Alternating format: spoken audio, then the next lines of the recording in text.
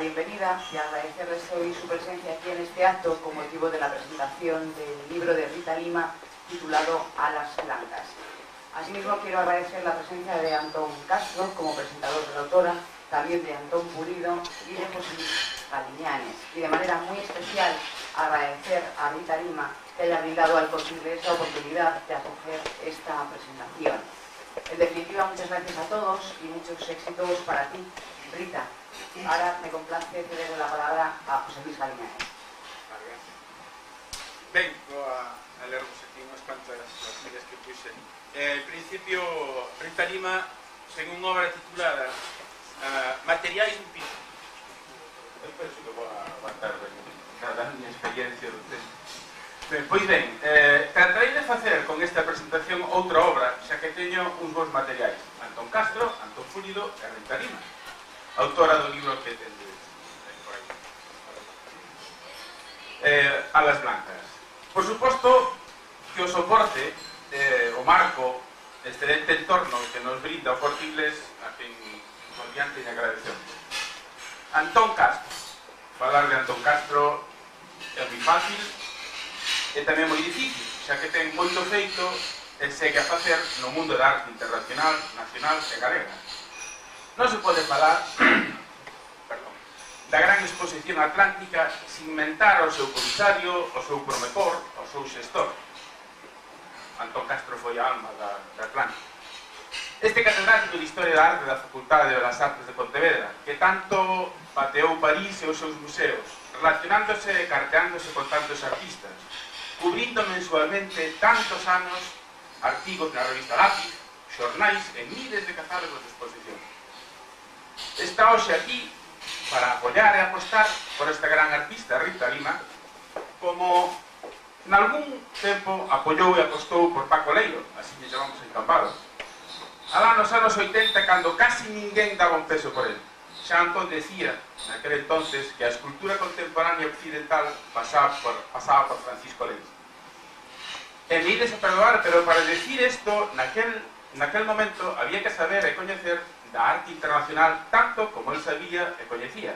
Oxe, lóxicamente, cos seus coñecementos de arte, como sabedes, seguen perspectivas e cotas de, de Himalaya. É moi difícil encontrar no mundo da arte galega algún artista que destaque e que non teña nada a ver con el. Como tamén é moi difícil encontrar algunha boa colección de libros de arte galega na que non figure un prólogo, un comentario, un artigo, e isto sabe moi ben don Antón Polido, que aquí o tendes, presente director desa emblemática obra de enciclopedia da arte galega, Artistas Galegos. Creo, nunha palabra, que toda persoa que entenda algo de arte, e aquí sodes moitos, considera Antón Castro un referente da crítica da historia da arte. Isto sería o fondo e a primeira capa, como vos dixen que iba a facer unha obra. A mí me gusta pintar por capas, pero tamén me gusta pintar a la prima. Tan importante dese cadro impresionista que vos dixen que sería esta presentación do libro de Blanca de Alas Blancas de Rita Lima. E ben, Antón Pulido, eu diría xestor e creador humanista. Sería para min un bo título para definir este artista que vai dende o mundo da música á plástica, que alterna no seu estudio academia, academia e na docencia. Estes dous Antón, valga, valga a liason, sempre estiveron moi unidos desde, desde hai moito tempo por cargos ocupados na Dirección Xeral de Cultura, director do Centro Galego de Arte Contemporáneo. De todos os xeitos, é moi interesante seguir o discurso plástico deste grande artista, Antón Polido, que foi, dende a figuración clásica, os paseos impresionistas e a súa fase expresionista, ata esta última prometedora etapa, que para min vai cara ao xestual, unha paleta limitadísima típica dos grandes mestres na súa madurez plástica. Pulido é un gran oteador dende a altura dese muro que dá ao abismo, unha obra preciosa que ten.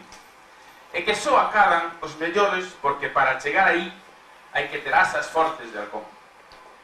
Eu se precito unha frase lapidaria, fai paille facer gracia a Antón, preñada de sabiduría e experiencia, que a Pulido lle dixo o seu gran mestre da Xeiro.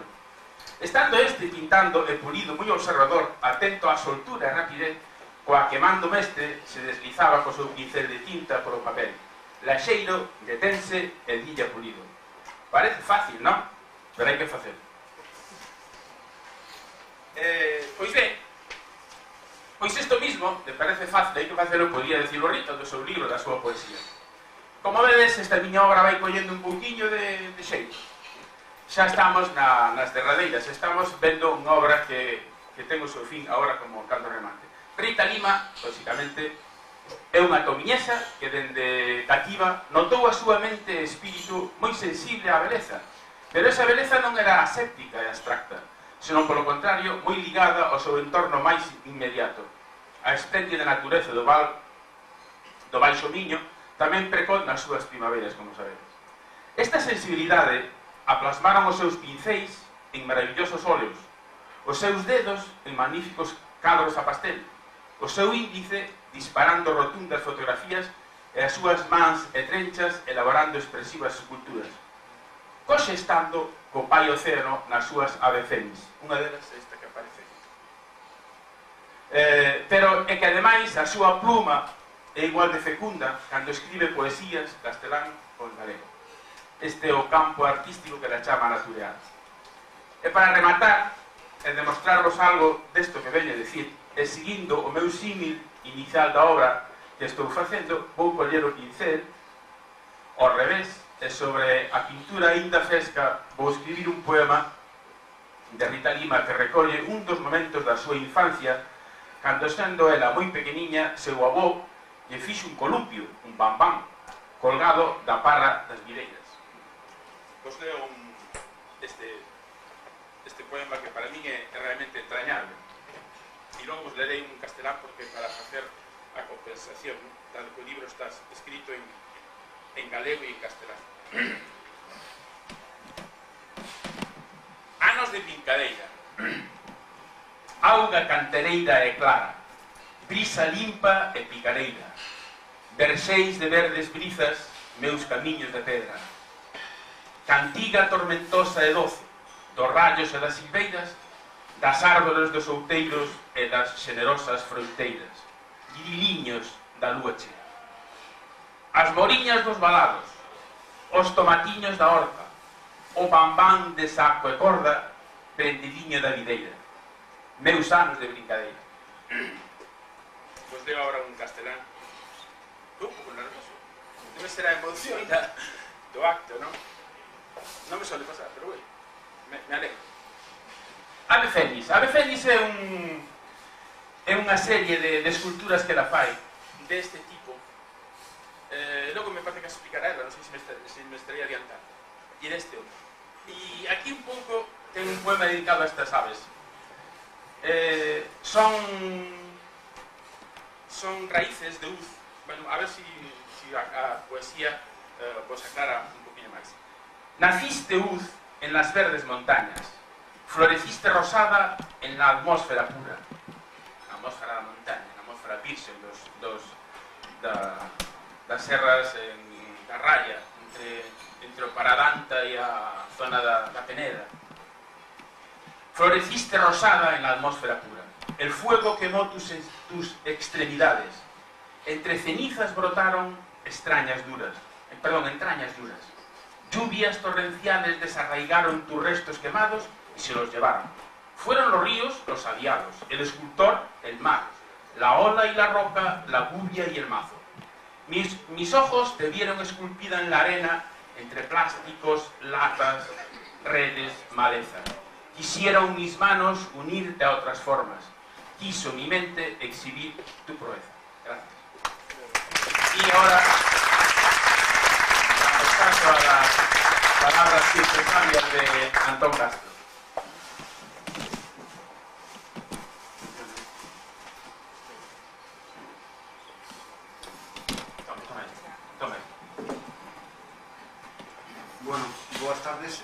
vou a tratar de ser sintético porque sei que os atos son máis agradecidos cando un trata de sintetizar sobre todo o seu sentimento e a miña reflexión neste caso acerca non só do libro, senón tamén eh, da obra de Rita Lima.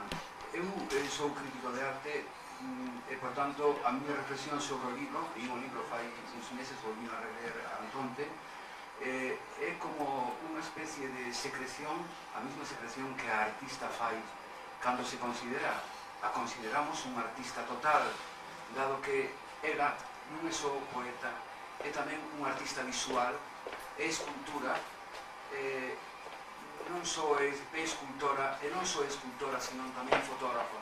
Son as armas e os pincéis do artista. Eh, Alas Blancas é un reclamo e un manifesto no que se sintetiza toda a vida estética de Rita Lima era o dedica a Galicia. O dedica a Galicia tamén e talvez a un caso puntual que é a solidaridade co, co prestige. Pero máis alá de, de esa puntualidade, eu creo que hai que suliñar eh, esa visión da artista plural que esconde o libro. Non é unha poeta, non é unha pintora, é unha poeta, é unha pintora. Eh, temos antecedentes desde o dadaísmo donde se defende a arte como totalidade e o artista plural, é dicir, un artista visual non é só aquel que pinta, pode ser aquel tamén que pinta co, coa palabra. Hai un resurgir de unha conciencia, unha conciencia que é a da natureza, o que era chama conciencia ecolóxica, e que engloba unha idea de proxecto, o proxecto dos dez últimos anos do seu traballo, e que se tiveramos a oportunidade de ver unha mostra coa fotografía, coa escultura e coa pintura, veríamos ese sincretismo que hai entre o que se pinta e a palabra. Os objetivos de Natural Art, é dicir, entre este arte da natureza, esa versión de unha especie de Van Art, eh, de Van Art, eh, un pouco para a refracción do Van Art norteamericano, os anos 60 e 70, era o transmite en unha serie de moldes que eh, sempre nos falan de liberdade de amor, eh, de paz e de ecoloxía. É dicir, hai unha especie de neumanismo no que os temas eh, a inspiran e a inquietan. Por activa, son os temas que me inspiran e me inquietan, diría ela. O mundo é o mundo da auga.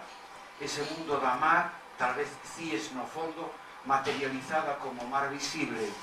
Eh, a refracción de un gran poeta romántico. Eu sempre, despois de ler o libro, eh, viña a miña cabeza o mundo de Schelling. Schelling é un gran ensayista, un gran pensador.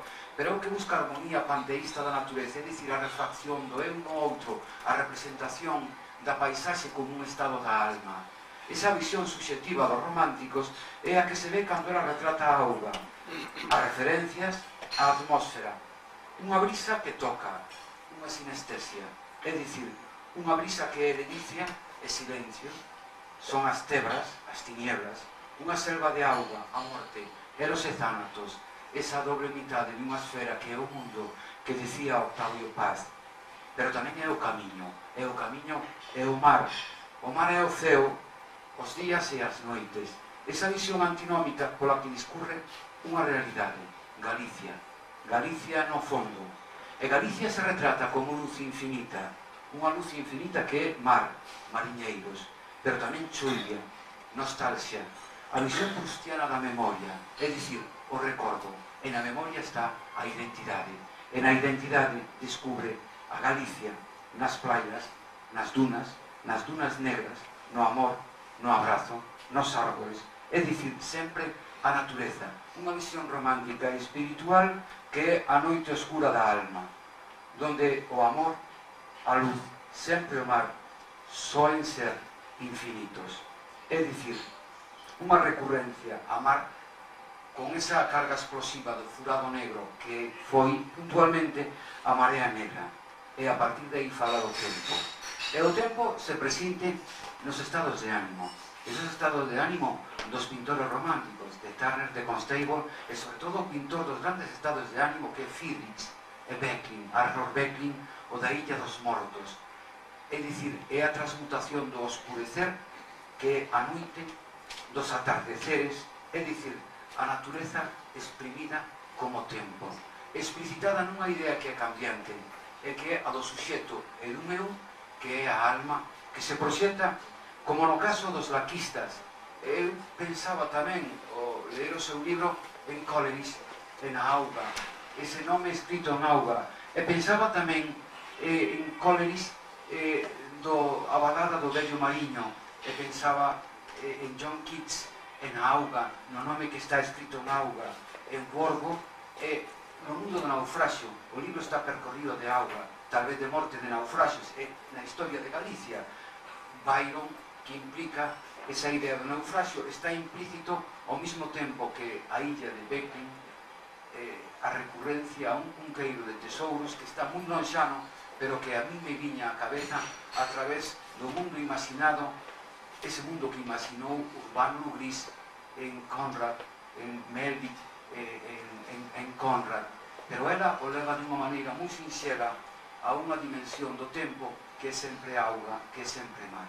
Unha homenaxe a Galicia que creo que merece a pena eh, leer porque Alas Blancas é, eh, creo que unha reflexión sobre a inocencia e tal vez a reflexión sobre a rapaciña ou aquel rapaciño que quixo decirte a San Agustín que era imposible cerrar todo o mar eh, nunha, eh, nun oco eh, feito na area. Alas Blancas, además de eso, é un reclamo no que se dan cita, eso quixera sumiñado, a pluralidade como linguaxe, é dicir, unha visión na que a arte non é só pintura, non é só palabra, é a expresión múltiple de unha totalidade onde os xéneros se dilúen e onde hoxe non pode falar de pintura, de escritura ou de poesía, simplemente de arte. Unha dimensión estética que nos temos ao acercarnos a, a alas blancas. Moitas gracias.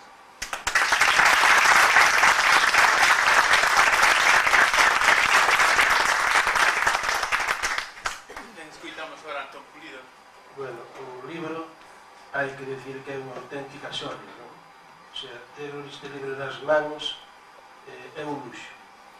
A portada, eh, fermosísima, vexo que é túa, non? Con dous cadros fermosos, e eh, moi ben combinados os colores A portada do libro é moi importante. O libro é máis o libro, mires por onde mires, eh, decátaste que estamos aquí ante unha auténtica artista. A poesía extraordinaria. Os cadros, fermosísimos, moi bons cadros, moi boa pintora, domina a cor, domina o dibuixo, moi ben en fotografía. Os títulos dos poemas Marea Negra, Animal Herido, Ojos de Primavera, ante a oscuridade atardecer, desde logo, vemos que é unha romántica. A min encántame a poesía romántica, a min encántame a pintura romántica. Eu sou un romántico tamén na miña pintura. E hai que devolverlle a emoción á arte, e hai que devolverlle ese palpitar, eso que lle falta a arte hoxe en día.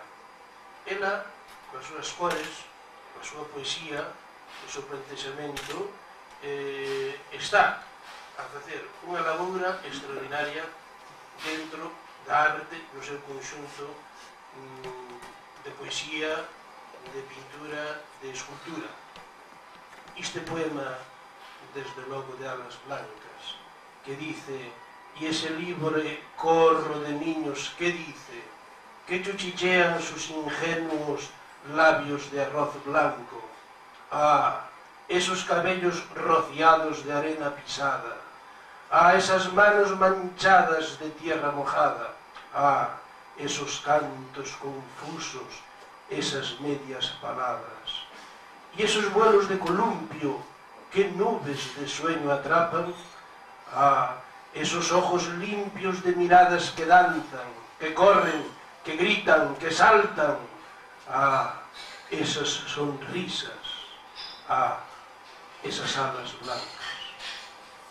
Rueda fermosísimo, con a ilustración matisiana, moi ben divisada, con ritmo, con cor.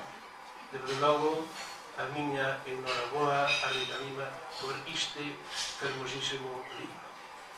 Thank you.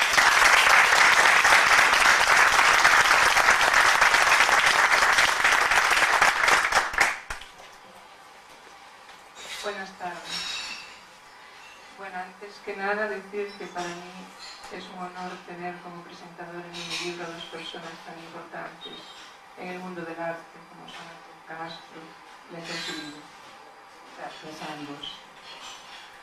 Eh, muy agradecida también al Corte Inglés por su amable acogida y agradecida también por la colaboración para la edición de este libro a la Concejalía de Cultura de Dominio, representada por don César Pérez Ares y por don José Luis Fernández Lorenzo.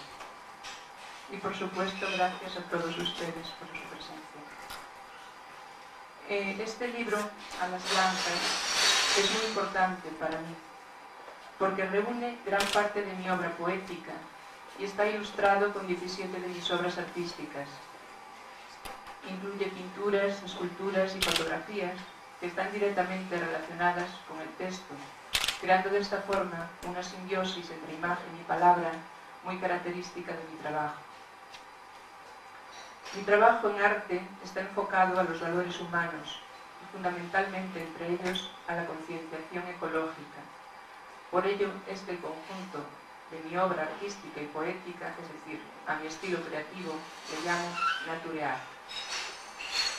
De ahí que la edición de este libro recibe el nombre de Poesía Naturear. Mi relación con la ecología no es de ahora, parte del año 92, y fue en el año 2000 cuando realicé aquí en Vigo una exposición pictórico-poética ecologista. Casualmente, con la catástrofe del Prestige, me ha tocado como gallega que soy, vivirla de cerca. Esto hizo que tomase la iniciativa de escribir este libro que quise dedicar a Galicia, en homenaje a los foráneos que ayudaron con su solidaridad limpiando las costas, así como a todas aquellas personas que de alguna manera han colaborado. Para ello reuní 61 poemas ecologistas pertenecientes la mayor parte a mi anterior etapa histórica el árbol del futuro corazón esmeralda, con 20 poemas más dedicados exclusivamente a la marea negra del Prestige y que escribí durante los días del suceso. El libro está pensado para reconocer a los foráneos su ayuda, por lo que está escrito en castellano con seis poemas en gallego como muestra simbólica de lo nuestro y en agradecimiento. De esta forma pienso que colaboro a la expansión del idioma gallego al que aprecio y del que siento no estar acostumbrada a expresarme oralmente. La portada del libro la diseñé tratando de resumir en imágenes el contenido. Presenta dos ilustraciones, una de ellas es una obra pictórica que representa la inocencia de los niños ante los desastres ecológicos y la otra es una escultura, Ave Fénix, una paloma negra que representa a la naturaleza herida, tema constante en el contenido del libro y que lo unifica. En cuanto al, al título del libro, A las blancas, nace de dos vertientes que he querido fusionar. Una es el nombre de la obra pictórica de la portada realizada en el 98 que se llama A las blancas y la otra es el recuerdo del blanco, de la solidaridad de los voluntarios sobre el negro del desastre que todos recordaremos como un símbolo. Además de otros conceptos menos relevantes, como que la palabra alas es sinónimo de libertad, que en este caso está presente en el viaje libre y solidario de esas personas que vinieron a ayudar, o que en la mitología grecorromana, Mercurio, el mensajero de Júpiter, portaba en sus botas unas alas que le eran de gran utilidad en sus viajes. El libro consta de tres apartados. El primero, y floreces en la adversidad, está dedicado a mi visión de la marea negra del prestige, donde emerge una profunda sensibilidad humana hacia el mar y hacia la naturaleza, valorando la fuerza del pueblo gallego, haciendo frente a la adversidad. Son poemas de lucha, grito, fuerza y valentía. El segundo apartado del libro es Palabras de la arena al mar. Son poemas de amor, dulces y sensuales, desde un, desde un punto de vista femenino, donde es la mujer la que lleva las riendas de la conquista y en los que se muestra el sentimiento del desastre de la marea negra por parte de la naturaleza, utilizando metafóricamente el amor entre la arena y el mar, con una pareja que vive una situación angustiosa y amenazante. El tercer apartado se llama llave íntima y aparte de reflejar que este libro, a medida que se avanza en su lectura, se hace más íntimo, se relaciona con la entrada de los foráneos a Galicia como a nuestra casa. Aquí aparecen las formas, perdón, los poemas relacionados con mi anterior etapa pictórica, El árbol del futuro corazón esmeralda, poemas de reflexión y mensaje. Finalmente aparece como una dádiva a los foráneos y muestra simbólica de gratitud lo nuestro, seis poemas gallegos que dieron pie al nuevo libro que estoy escribiendo totalmente en gallego, con poemas también ecologistas y que estoy a punto de terminar. Seguidamente les voy a recitar algunos de los poemas del libro.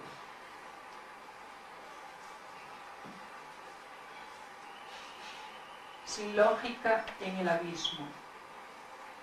He visto salir un ave negra de las aguas.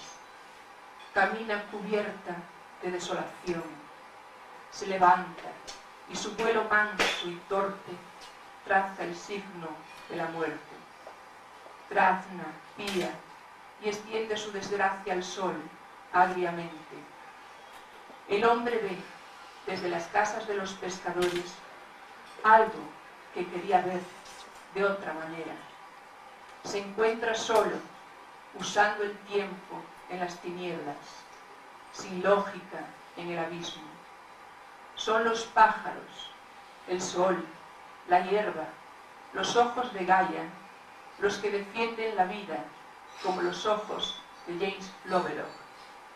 Y es que en este espacio, en el que llega un auto que supera a su gama anterior, que mejora lo que era insuperable, con climatizador automático, APRC, UCC y ABS con BA, lo que más importa son las emisiones de CO2 que están entre 250 y 277 gramos kilómetro.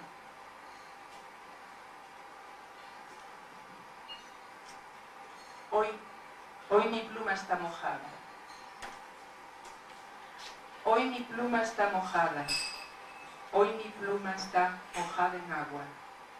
Mojada en los ríos, mojada en los mares, mojada en el agua que bebo, mojada en los manantiales, mojada. Quiero escribir una carta, una carta para una niña, una carta de vida, una carta de alegría. Pero mi pluma hoy está mojada. Secaré mi pluma en el aire de la esperanza, en el viento de los sueños, en la brisa de la calma, porque hoy mi pluma está mojada en agua, mojada en los ríos de sucia espuma blanca, mojada en los mares de negra sangre, mojada, mojada en lágrimas.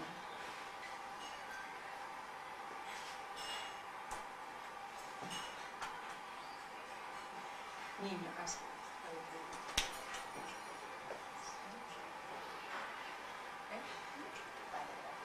Gracias, hermano. Este se llama Más cerca de la tierra. Son recuerdos mm, de cuando era niña.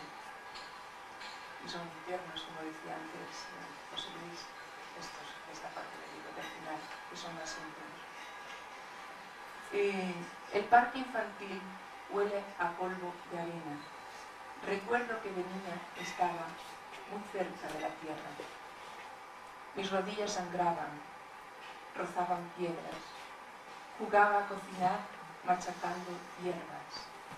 Recuerdo que de niña estaba muy cerca de la tierra. Era mi canica un pequeño canto, mi lápiz un palo, el papel barro y por collares, ah, las flores del campo. El parque infantil huele a polvo de arena. Recuerdo que de niña estaba más cerca de la tierra. Ya lo demás porque si no, podría extender mucho. que os lería todo o libro. A ver. Por vos os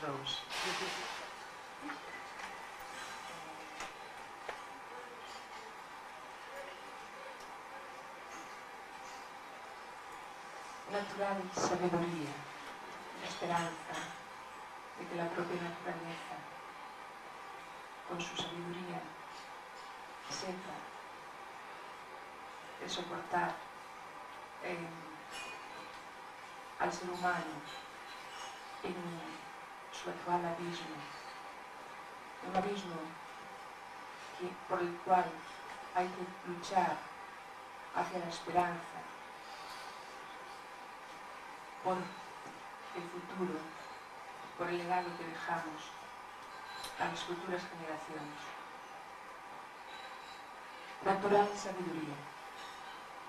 La muerte viene a tu encuentro pero yo permanezco erguida como una torre. Lejos está el cansancio. Tú tienes la fuerza y yo la osadía. Vuelve al sol tu rostro y que brille como el oro. Vida, conquista los sueños y el milagro. Que se marche, que se marche la daga que te desgarra, que no apague nunca tu alegría. Llévala al fondo de las aguas, llévala a los abismos de tus entrañas, ahógala, ahógala en tu natural sabiduría. Dedicado al mar,